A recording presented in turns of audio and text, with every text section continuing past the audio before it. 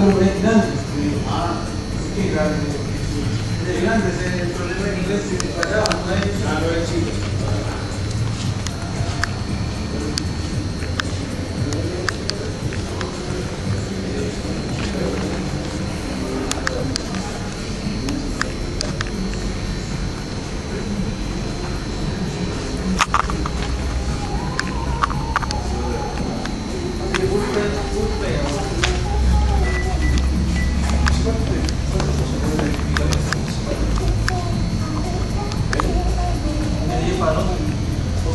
E a pessoa